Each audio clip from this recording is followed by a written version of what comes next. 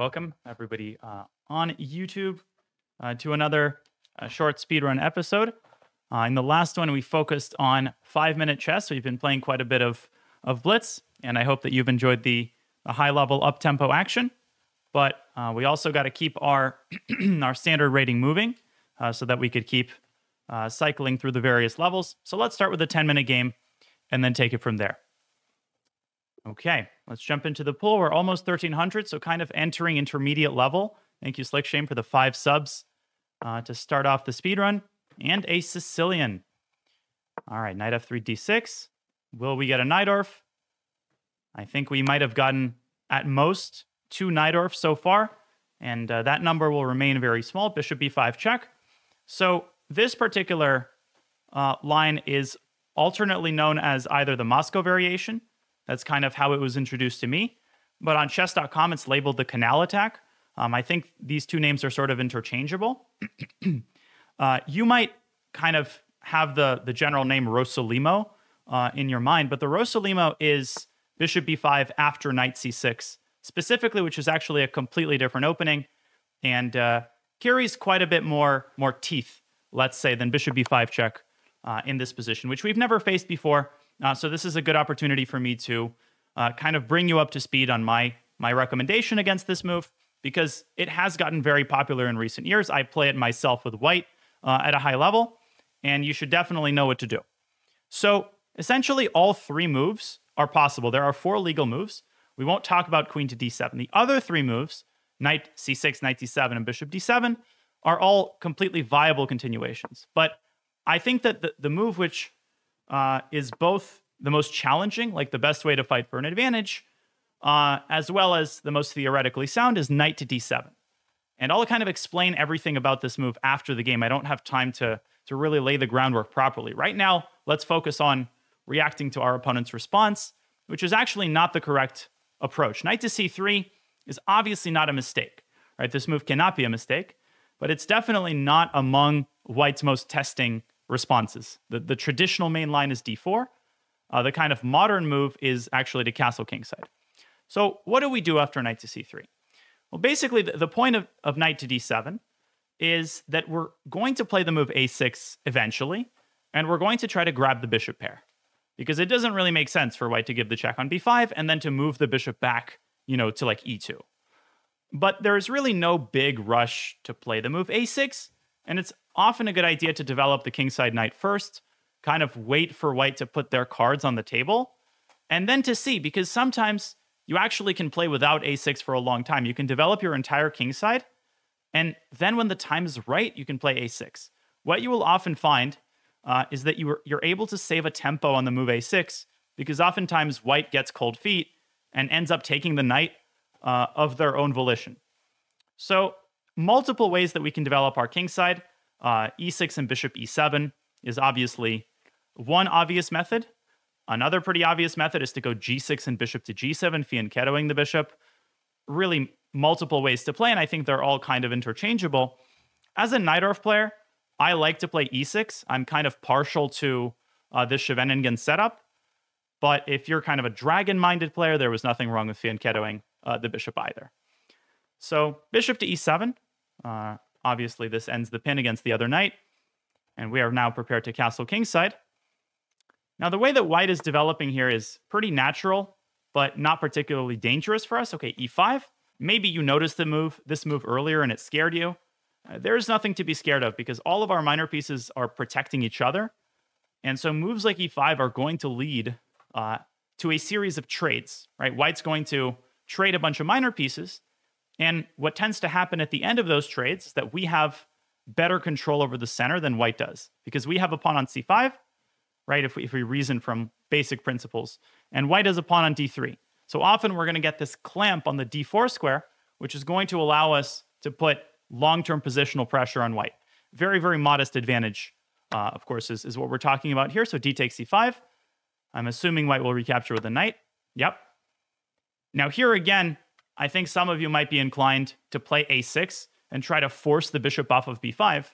But remember, there is a much more elegant and productive way to get rid of this pin, and that is just simply to castle. Just castle kingside, killing two birds with one stone. Now we are threatening to take the knight on e5, so white white's hand is forced. And here actually we have a choice. We don't have to take back with the bishop. As a matter of fact, it could be an ingenious idea to take back with a knight, not because we're expecting a pre-move of some sort, but because later on we might try to use this bishop as a target or uh, to try to get white to take on d7, leading to a good bishop versus bad knight scenario. Uh, so both options are totally viable. Bishop takes d7 and knight takes d7. Um, my instinct is that knight takes d7 might be a little bit inferior from an objective standpoint, but I actually want to try it out. I kind of want to show you how a visually unappealing move like this can actually work out in the long run. Hopefully, of course, it does work out if I follow it up properly. Thank you, Min, for the raid. We're doing a little speed run here to end the stream. Okay, so queen takes c7. Pretty boring game so far. And, uh, you know, I wouldn't blame you for yawning. But as I've said before in previous speedruns, winning positions like this constitutes a really, really important part of moving to the intermediate level, being able to play boring positions and outplay your opponent, uh, even in situations kind of devoid of tactical excitement. So knight to e4, I think, uh, is actually a pretty big step in the wrong direction. My eyes are squarely focused on this bishop on b5, but what do I notice about it? Well, one important thing is that it's kind of confined. Uh, so if we were to play the move a6 here, white would probably be best advised to take on d7. If white doesn't, we're able to play b5, push the bishop away to b3, then c4 is kind of hanging in the air. We could fianchetto our light squared bishop, uh, and then we'd, we'd actually be threatening uh, to win a piece in that position. Bishop takes c4 and c4. But we can try to maximize the pressure here by moving the knight away from d7, because that is white's kind of escape ramp, is bishop takes d7. If we move our knight, a6 becomes uh, a very big problem for white. so the question is then, well, where do we move our knight? And there's multiple good squares, right? We can centralize it with knight e5. We can go knight f6. That's kind of the positional move. But I think the move which carries the most pain for white is knight to b6. Um, maybe I should have played knight e5 because this does block the b7 pawn. But a6 is now okay. It doesn't win the game. It it forces white's bishop to drop back to c4. But in that situation, we could already trade on c4 and completely cripple white's queenside pawn structure. We could also set up a6 by positioning a rook on d8 and x-raying the queen, and then a6 would actually be a winning threat. So this already starts to pose pretty serious problems to white. And you can tell that our opponent, I think, is sensing the danger and immediately panics with queen to g4. now, What's funny is that this move does not directly blunder a piece. Why not? Because f5 can be met with queen g5, funnily enough. I don't know if our opponent saw this or not. Sorry, I'm talking for too long. f5 can be met with queen g5. So instead of playing f5, we have a couple of things that we can do instead. I think we have a really ingenious tactical idea. Now, in situations when you have a move like this that almost works, what you need to be looking for is essentially a way to set it up. What does that mean? Well, if we were to play a move like queen to d8 or queen to c7 and try to move our queen onto a defended square, the likelihood is that white would smell a rat and would then get out of the potential fork. So often you need to look at the other side of the board, and oftentimes you want to open up like a tactical front on the other side of the board which is then going to make your idea work. What move am I really hinting at? I'm hinting at the move c4, which is a, a very advanced move. I think that most of you probably either maybe notice this move, but aren't really understanding why it's significant. What is the point of this move? But if you look carefully, you should notice that with white's king stuck in the center, the potential check on b4 is an incredibly unpleasant idea. So what we're doing is opening up a potential escape route for our own queen, which would then allow us to evade the move queen to g5 with a check. This check also incidentally forks the bishop and the king and is going to lead finally to direct material gain. Because the knight has to cover, and then we can take b2 with another fork. Incidentally, that fork still does not immediately win a minor piece because of this move, king to d2. But if white has to play a move like king d2, it should be pretty clear that his days are numbered. So the winning idea here was c4, and I'll, I'll talk more about it after the game. Let's take on b2, forking the knight and the rook. And after king d2, we still have we still have some work to do. We absolutely still have some work to do because our queen is not entirely safe. We're only up a, a pawn, and the king is not going to get checkmated in the center by itself. Now, will our opponent find king d2? I don't know. He might resign. Yeah, castles. Now, king d2 is a pretty difficult move, I think, for a, a 1200 to find. And again, I, I won't keep going through the the basics of how to convert a position like this. You know, at 1300, you should be pretty comfortable converting this type of position with black, even with like two minutes on your clock. Now, of course, nothing happened to this bishop. It's still there. It's still sitting on b5, and it's still very much attackable.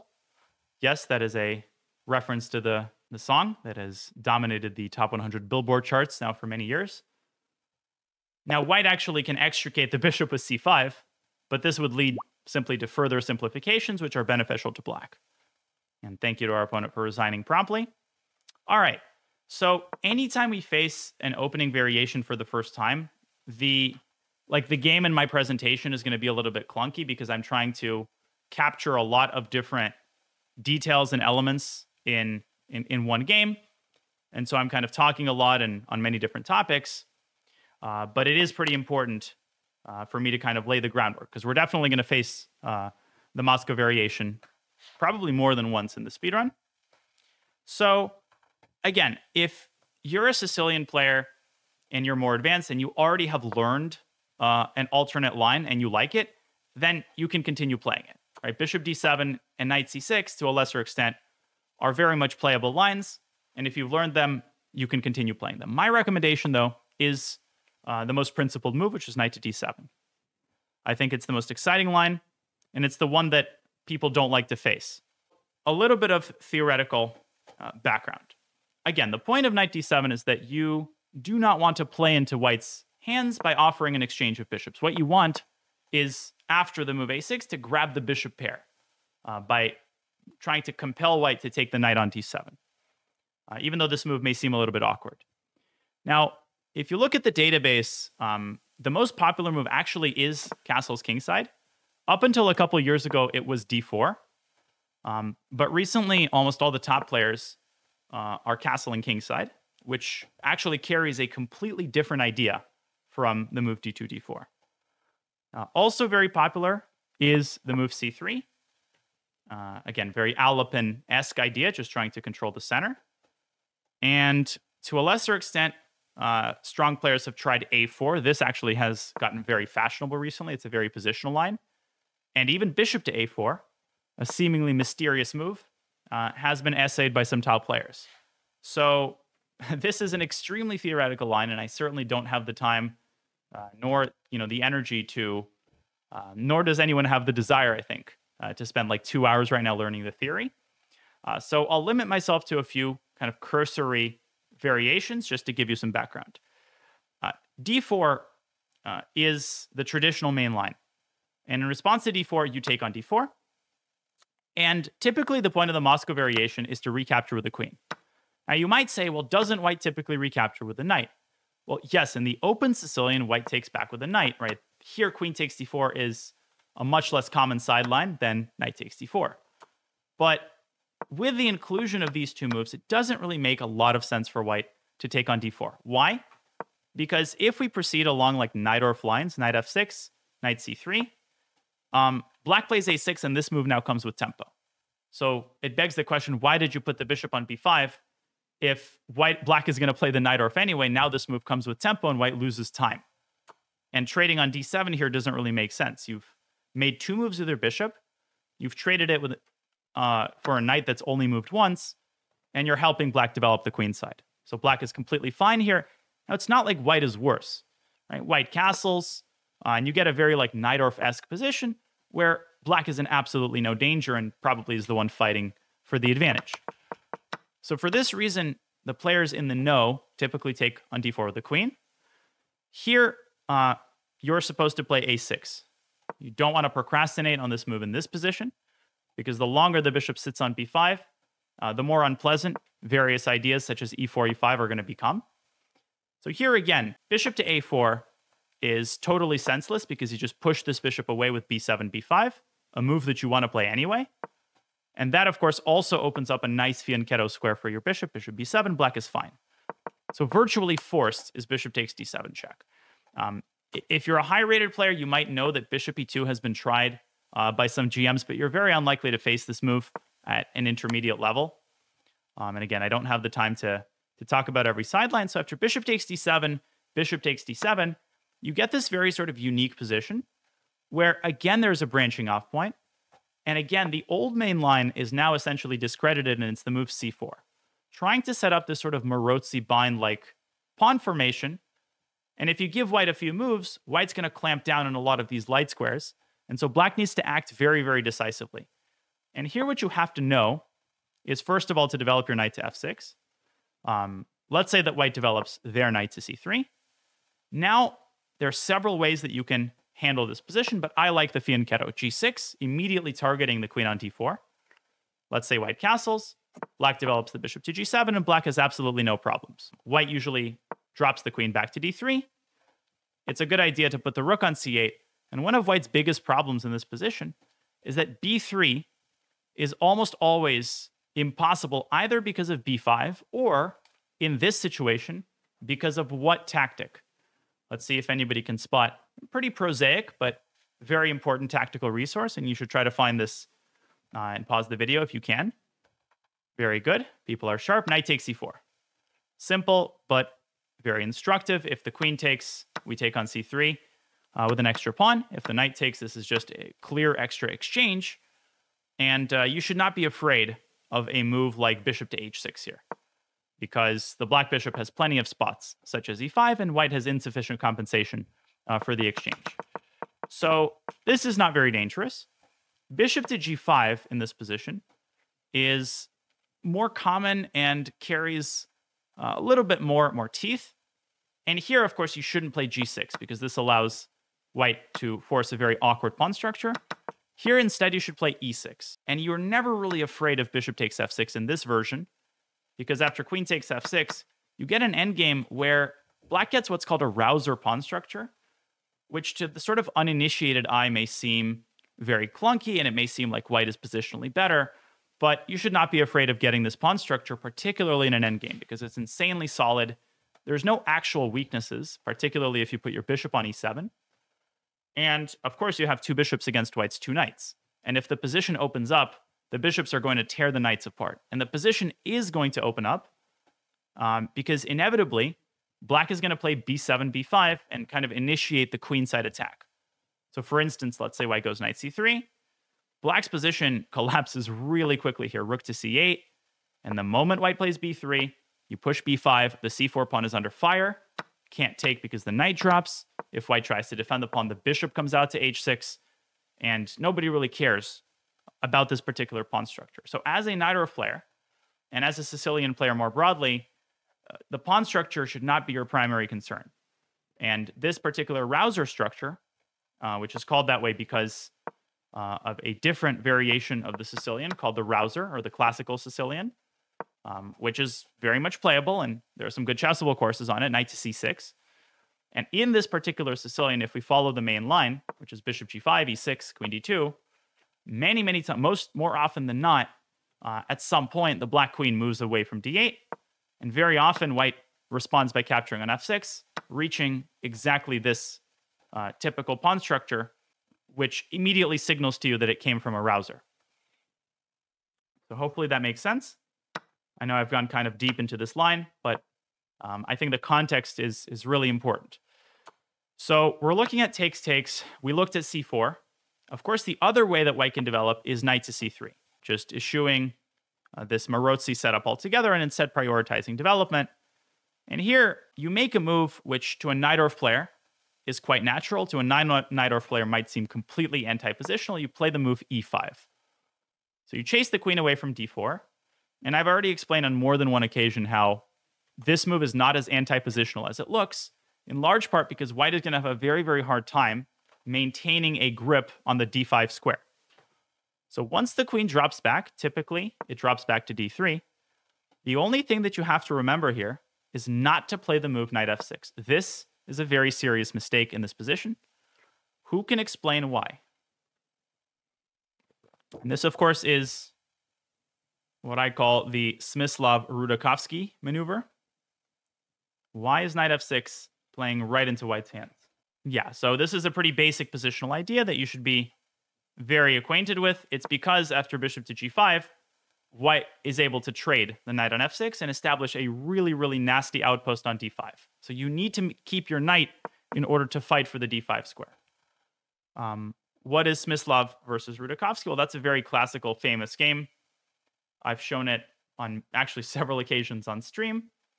And at this point, it gets pretty stale, but it's like the classic illustration of this concept. And it actually incidentally came from a Najdorf where black committed this very error. So in this position, a young Vasily Smyslov plays the move bishop to g5. Then he exchanges on f6 and he plants this monster of a knight on d5. And he wins the game in, in due course. So instead of this, um, instead of this, black has a couple of approaches here, I think, that equalize. But the the new move, I think the move that Stockfish gives uh, in recent times, and the move that scores really well is to start with rook c8. Very flexible move, putting the rook on a great square. And if white jumps into d5 with the knight, this is no longer dangerous at all for several reasons, such as the fact that black can now bring the knight to f6. And you might be like, well, wait a second, what's the difference? Here, white plays bishop g5. But black can solve his problems tactically by delivering a really important check on a5. Actually, not yet. There has to be a move that is included first. Why is queen a5 check bad? Instructive moment. Why did I confuse this? What does white actually do here? And it's not what you might think. It's not bishop to d2. That's not the issue. It's b4, exactly. b4, the queen is pushed aside, and then white is able to take on f6. The point is, if white drops the bishop back, the queen moves back to d8, and you get this game of chicken where both sides keep repeating the set of moves. Um, so for this reason, it's important for black to plant a bishop on b5 first. This is actually the concrete significance of the move rook c8, right? This is what it means to understand an opening. Because rook c8 is a useful move, and you should kind of understand, yeah, it's a, it's a good rook, but there is also a very specific idea behind this move which is that anytime the knight goes to d5, you can play the move bishop b5 without fearing the move c2, c4. So you're controlling the c4 square, and this becomes important here because of the move bishop to b5. And only after the queen moves uh, do you give the check on a5. The queen has to keep the c2 pawn protected. If the queen moves back to d2, there's this very typical tactic, knight takes e4, and you simply win a pawn. And after queen b3, it's time to deliver the check which most likely leads to a repetition of moves because white has nothing better to do. White can't castle, so uh, white is the one who has to fight for the draw here and repeat moves. All right, so I will just show one other line. This is a, a quick overview of the old main line. Now I'm quickly going to show what to do if white castles kingside. This is a more advanced move, castles kingside. Uh, here, the one thing to remember is you should play the move a6 in this position, which is not something that is possible to figure out on your own. You have to just like know this. Why on earth is knight f6 an inaccuracy? Does anybody know the actual reason that knight f6 is considered clearly inferior to a6? And the reason is, of course, very positional. It's not like, oh, white wins the game with e5 or something. But why is it so important to start with a6? It's kind of a cool reason. Yes, very good. The poison pawn got it. So the actual reason is knight f6 can be met with rook e1. And the point is that if black plays a6 now, the white bishop is able to tuck itself away on f1. And now white is able to implement a very annoying idea, which as Alapin players, which of course all of you watching the speedrun are now are, uh, either because I've converted you or uh, because you've come to the realization it's the best Sicilian, white wants to go c3 and d4. This is a very hard idea to stop. Let's say black plays e6. White will now play uh, c3, and white will occupy the center with d4. Now, is this a disaster? After something like bishop e7 d4? Is black losing? Obviously not. Black is only a tiny bit worse.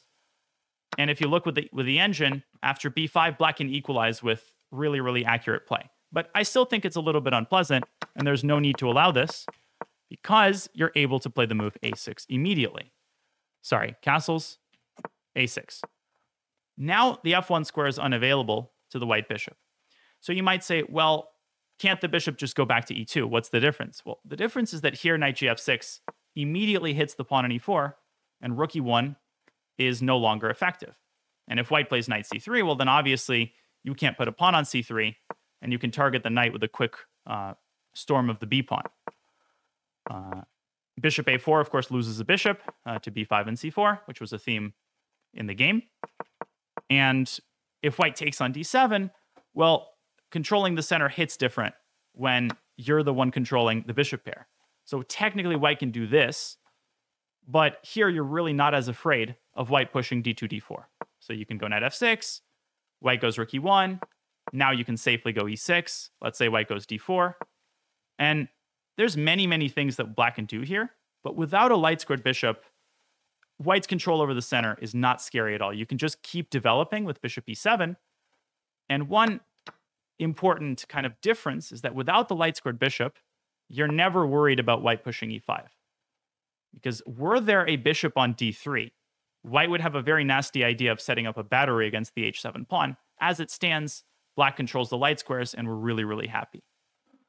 Okay? Um, so that's kind of the lay of the land. Typically, for that reason, white plays this very awkward looking move, bishop to d3. This is the modern main line. And this sets off some very, very complicated theory. Here, you're supposed to go knight g to f6. Now, white most of the time plays rook e1, trying to go bishop f1, even though it wastes the tempo. And among other things, you can go e6, bishop f1, b5, and you basically like beat white to the punch because if white now plays c3, you're able to fianchetto your bishop just in time and hit this pawn. White is unable to play d4.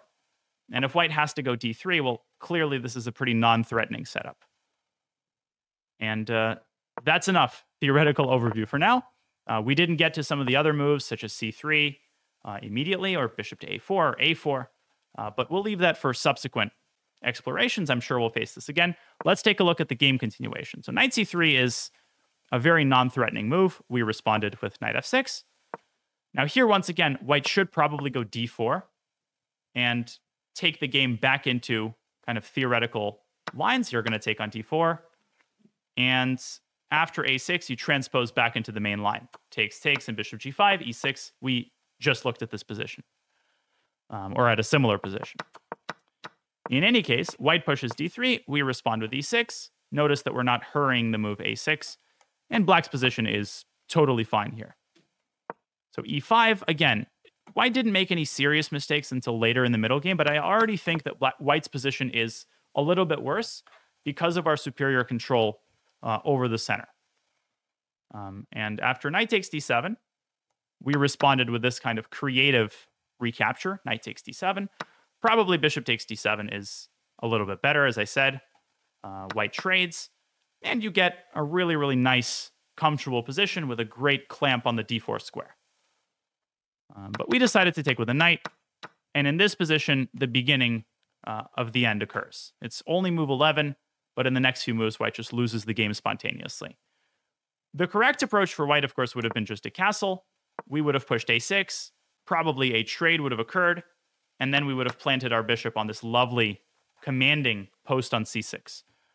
Instead, white starts looking for adventures without having castled and without having a single target in our camp.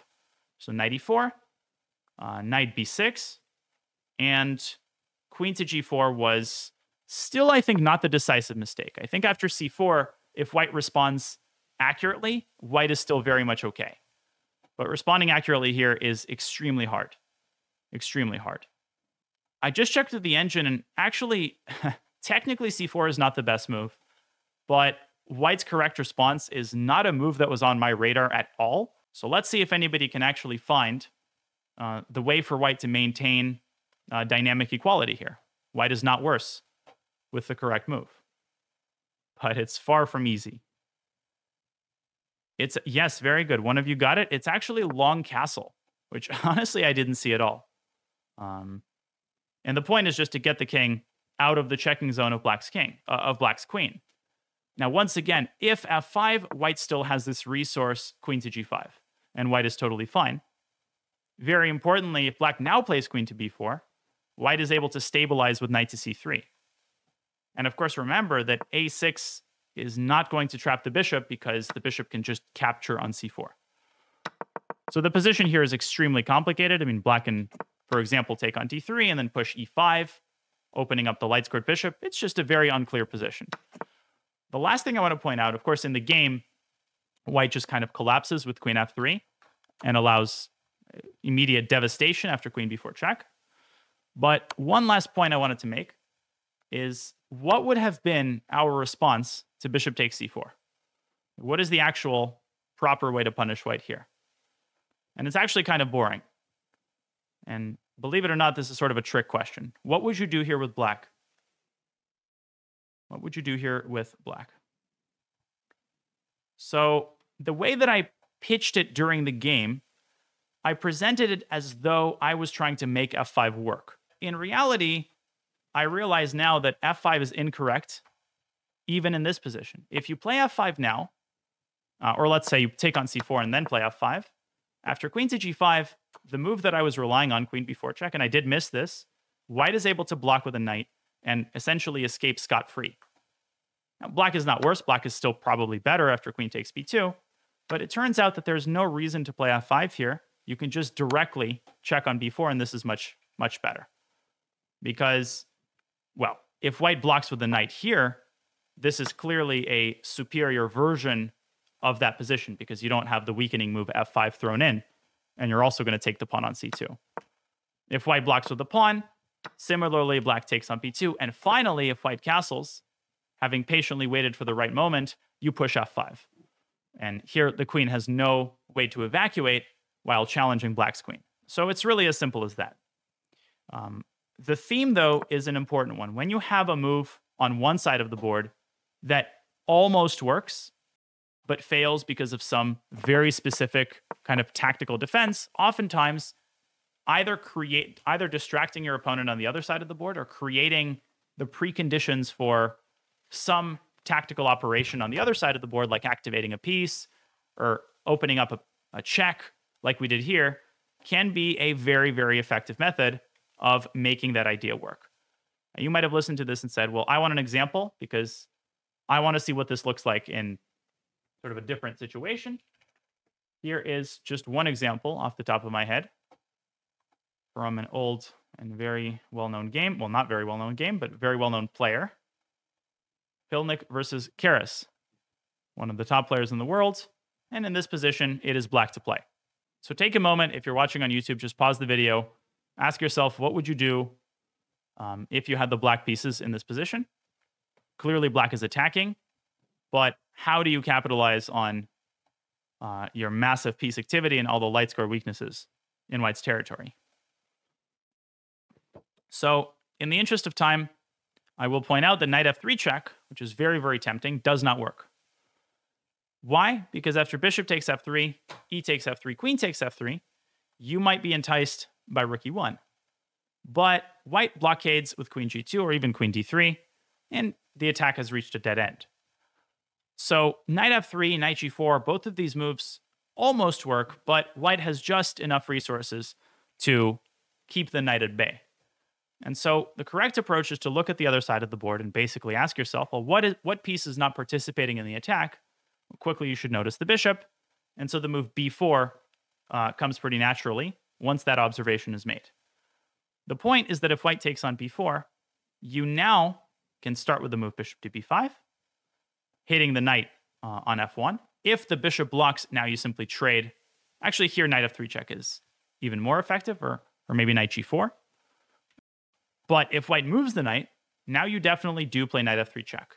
And it works like a charm because after the trade, uh, because of the involvement of the bishop, the knight has moved away from the first rank, and the rook now delivers checkmate in two moves. So, just one of many examples I could give you on the general topic of whole board awareness, both sides of the board, are interconnected in kind of many hidden ways. And you should think of the board as kind of one unit, if that makes sense. One very quick example just to cap this off, because I think it's a really important theme. And even though we're spending a while on this game, I, I think it's uh, really worth illustrating uh, the importance of whole board awareness in almost every situation. Here is one of my proudest applications of this concept. So this is an old game of mine. It's a crazy position. And again, I won't spend too long on this because I do want to get one more game in. And we got Yasser himself in the chat. So suddenly I'm, suddenly I'm nervous. Uh, but in this game, I have the white pieces. And clearly, white has built up a what should be a completely crushing attack on, on the king side. This should be a completely crushing attack. If you just look at the number of pieces which are involved, essentially all of them are involved. And if you look carefully at the king side, a very typical tactical pattern should quickly manifest itself in your brain. This is sort of a textbook pattern that often leads either to checkmate or to decisive gain of material. What are we talking about? We're talking about what move? What move are we talking about? It's also a queen sacrifice, which makes it more exciting. Yeah, queen to e6. So giving up the queen. And so I was calculating this and I was getting excited because after king h8, you know, I was confident at first that something would materialize. But in fact, windmills can be a very overrated tactical concept because oftentimes they're overly, they're kind of over glorified in tactical books, but in kind of real life, they don't really lead anywhere other than perpetual check. You can take on e5, congrats, but you can't win black's queen, and you certainly can't deliver checkmate. You can keep returning for f7, but all of the gold has been extracted. But applying the theme here yields a really, really cool move. Now, it's not the only winning move. White can win in many different ways here. Uh, even like the prosaic d takes e5 wins the game. But I found a really beautiful way to involve both sides of the board and to activate a piece that wasn't sort of expecting to be involved in this attack. And this idea makes the move queen e6 check work to perfection. So I've seen a couple people already point this move out. Can anybody name this move once again? We are talking about rook e3 to b3. So you start with this nice little rook sacrifice. Black essentially has to take it, otherwise the knight on b2 just drops. And now, of course, rook takes c6 is totally winning. I should point this out. But, of course, how can you miss the opportunity for a queen sack, queen e6 trick? This is what happened in the game. And with the involvement of the rook on c2, this leads to checkmate. But you got to be careful. The correct move here is knight to d6 check, slicing off the black queen. Why is this important? Because if you start with a check, black can prolong the game by blocking with the queen. So you give this check, now the rook delivers the final blow. And ironically enough, it's not smothered mate that decides the game, it's just a regular back rank mate. Again, both sides of the board are interrelated, and seemingly insignificant factors can make all of the difference, such as the fact that this knight on b2 is a very vulnerable piece. It might not seem important, but it was actually an integral part of the combination. It's pretty nice. Yeah, that's how the game ended. That's that's what happened. Uh, rook b3 and queen e6. So I was uh, pretty happy with this combination. That's where I'll conclude that illustrative segment. Let's play one more five minute game. We'll do a quick one and then we'll wrap up for the night. It's been a long stream, especially since we got royalty in the house. And here we go. Okay, so we have white against AVZ. Good luck. Let's see if we can get another Glek system. And by another Glek system, I basically mean like our maybe our second or third Glek system of the speed run. Finally, we're not facing a Philidor. Um, very refreshing. Okay, so bishop e7 is uh, this is a very modest setup, which is not sort of inherently wrong. It's just really, really passive, and it lets us do anything that we want to do. Um, I've already kind of laid the theoretical groundwork in the Glek. We faced uh, the more topical move, bishop to c5, uh, bishop to b4, as well as d7, d5 are sort of black's three main lines. So let's begin by kind of playing the typical Glek moves. We start by castling. Um, it's not a bad idea to throw in the move h3 at some point as well. But all of this depends on where black positions the light squared bishop. So bishop e6 um, immediately calls forth the tempting response d4. But what's funny is that in the Glek, you want to be very careful about pushing d4. Not because black is going to trade everything on d4, that plays right into our hands, but because in response to d4, there can be a very nasty idea to put the bishop on g4, even at the cost of a tempo, and try to force us to, to close up the center with d5, which is very much not in the spirit of the Glek. That's not what we're trying to do. Um, why is bishop g4 so nasty? Well, because the d4 pawn suddenly hangs. And if we have to take on e5, well, that's just a boring move, which is going to lead to some mass exchanges. Uh, so instead of d4, we have a couple of options. We can push d3, or we can keep our options open by playing the move h3. And of course, preparing to play d4.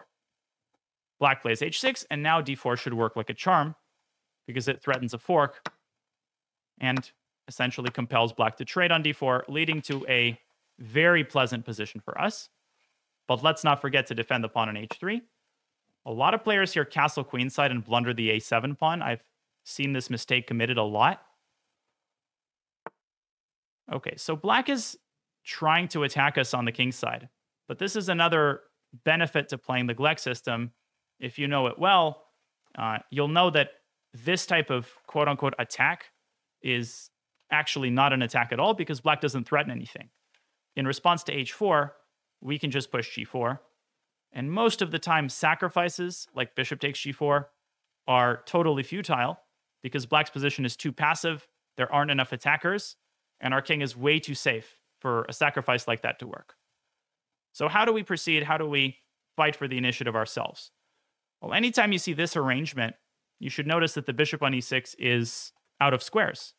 And so the move, I think, stems naturally from that observation. f4 looks like a great way to grab some space and create a really nasty threat of winning the game. Push him, baby. And you're like, is this a really actually hard move to defend against? Yeah, it is. As long as you keep this escape square away from black's bishop, f5 is going to be a huge threat. That tells you where we should put our queen. We should put it on d3 keeping the c4 square protected and preventing black from also pushing b5. Not that b5 would have been a dangerous move anyway because of e5. So black plays g6, and of course that doesn't actually defend against f5. The game is over. And another Glek system win is in the cards. Let's go. E takes f5. The bishop is trapped. Our bishop is now fully opened up. And c4 doesn't actually do anything. We can slide our queen to f3. But a simpler move is actually just to take on e6, hitting the queen on d7. Easy clap. Queen takes e6. Now, of course, we should move our queen. Now, repositioning it to f3, the one thing that you should be a little careful about is anytime you have a king on h2 and it's getting x-rayed, like so, you should, of course, keep a very close eye on any potential checks on g4. Just a mental note that you should make to yourself. Knight g4 can come very suddenly, and it can be very nasty in certain situations. Not here, because the king can just slide away to g1, but there's no need to, for us to expose ourselves to this kind of tactic. Instead, let's put on our Russian schoolboy hats and just put, play queen f5. I think this is much more to the point, and the queen trade cannot be avoided now, there's no reason for us to take on e6 ourselves um, because it rectifies black's pawn structure and helps black build a nasty little pawn ch- chain in the center. Instead, I think it's much more prudent to play bishop g5, hitting the knight. Very likely this will lead to a further gain of material. Queen takes f5, rook takes f5. Okay, knight g4 check. Our opponent still tries this move, but here we can just take as long as the g1 square isn't controlled, um, this is typically not going to be a dangerous proposition. We don't need to take the queen. We simply take the bishop. Again, we always need to keep an eye out for the a7 g1 diagonal. But as long as you can avoid checks on that diagonal, your king is perfectly safe, and we're simply up two minor pieces. Let's bring our rook into the center and try to deploy it on the seventh rank just to expedite the process. And this one's over. Also, rook takes f7 is coming through. It's over. The game is over completely. Rook is 7. And hopefully our opponent resigns here. Yeah. Even simpler than rook takes b7 is to play rook takes f7. Now, for most of you, I would recommend just to take on b7. No need to be pedantic, but uh, that's my job in the speedrun is to be pedantic and as accurate as possible. So d5, okay. All right, I'm too lazy. Let's just take on b7 and win the queen. And now we are just taking everything that we see. Anything that's hanging, we can capture with check. And uh, let's hunt down the king. We give one check on f6. Shepherding the king to a5. Okay, it goes to c5. And what's the fastest mate here? We can go queen c6, king d4. It can be kind of frustrating uh, to try to deliver, you know, the fastest possible mate. So you shouldn't bog bog yourself down too much. You should just kind of there's no art to it. Just deliver checks, and eventually it's going to be mate. Just watch. I'm going to give the first check that comes to mind, knight b5 check. And okay, black walked right into checkmate. But had black run over to e3, I would have I was planning queen c5 check and then like queen to d4 check. And actually the king now hides on c1. So I didn't do a very good job of proving the point. But eventually it is actually going to be mate. Like eventually we're going to get something like this. And yeah, here I finally think it's forced mate after something like this. Or the other way around, queen c1 and knight c3 is actually kind of a pretty mate. Uh, you can do the analysis on your own here. Uh, that wasn't the important part of the game. But you can see that even at this pretty decent level, the Glek is working like a charm because people who don't know what to play against it, they often default to a very passive setup, thinking that it's going to be solid. But uh, it has kind of the opposite effect. It lets us do everything that we want to do and leads to kind of a really miserable position for black.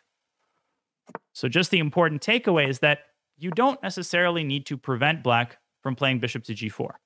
Because if black plays bishop g4 here, now we play h3. And in this type of situation, there's nothing wrong with pushing g4 and kicking the bishop away to a very passive square. But if you want to play the move d4, then and only then is it an important idea to prevent bishop g4. Because d4, bishop g4 is not a scenario that we want to allow. Because d5 allows the knight to jump into d4, let's say we play bishop b3, black trades everything, and we get this very like King's Indian-esque closed center structure, which is obviously not worse for us, but this is not the kind of structure or kind of position that you want to get out of a Glek.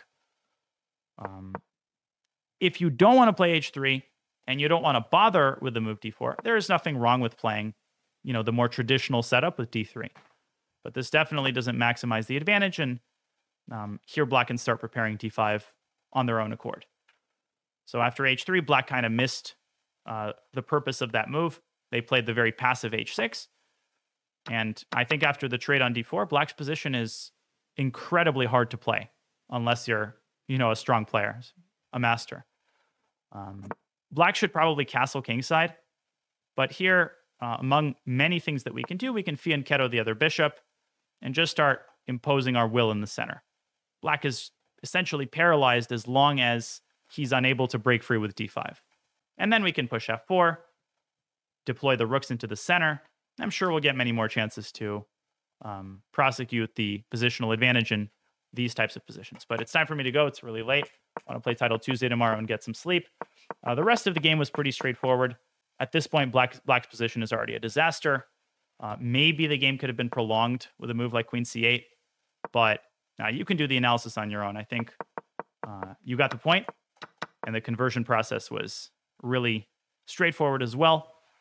Um, all right, just two games today, but uh, hopefully you enjoyed the uh, the Moscow variation game, and hopefully your faith in the Glek system was reaffirmed by the second game. On that note, I will end the stream. Thanks everybody for watching.